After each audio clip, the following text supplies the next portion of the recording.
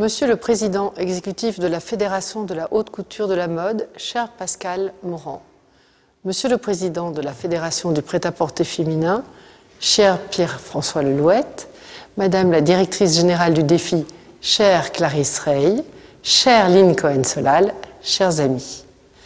Je regrette de ne pouvoir être parmi vous aujourd'hui. Ce forum, qui vous a réunis pour la seconde fois, est un moment d'échange et de réflexion indispensable pour votre filière dans la période charnière qu'elle connaît.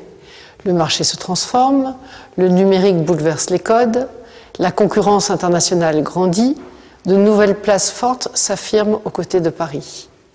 La création française ne perd rien en effervescence, mais nous devons être encore plus présents pour l'accompagner.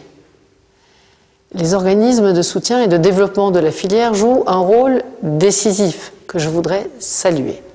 Merci au défi, à la Fédération du prêt-à-porter féminin, à la Fédération de la haute culture de la mode, à la ville de Paris ainsi qu'au ministère de l'économie et aux équipes du ministère de la Culture pour leur action et pour l'organisation de ce forum.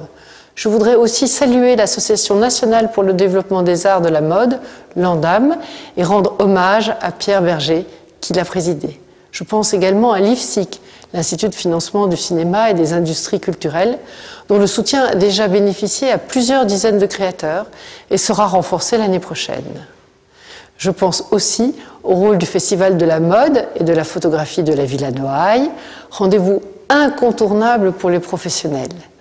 La filière de la mode en France peut compter sur des soutiens nombreux et variés, mais nous souhaitons aller plus loin, plus loin pour préparer son avenir. Et l'avenir est aux mains des jeunes créateurs. Le ministère de la Culture va donc lancer un nouveau fonds pour les soutenir au démarrage de leur activité pour la création d'une présentation en ligne de leur collection, par exemple, ou la location d'un local éphémère. 300 000 euros financeront chaque année une dizaine de projets. Le premier appel à candidature aura lieu d'ici la fin de l'année. L'avenir se dessine par ailleurs dans le système de formation d'excellence que la France abrite. Je soutiens l'idée d'une conférence des écoles de mode que vous avez évoquée aujourd'hui. Le ministère de la Culture sera là pour l'accompagner. L'avenir, il ne s'agit pas de prévoir, mais de le rendre possible, disait Saint-Exupéry.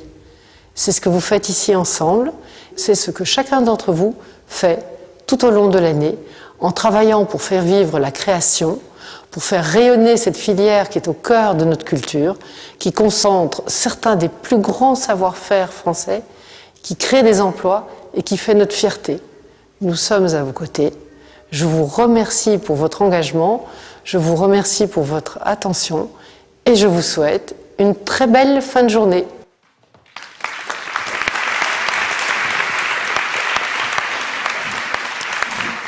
Allez, Pascal Morand, Pierre-François Lelouette, le mot de la fin, s'il vous plaît.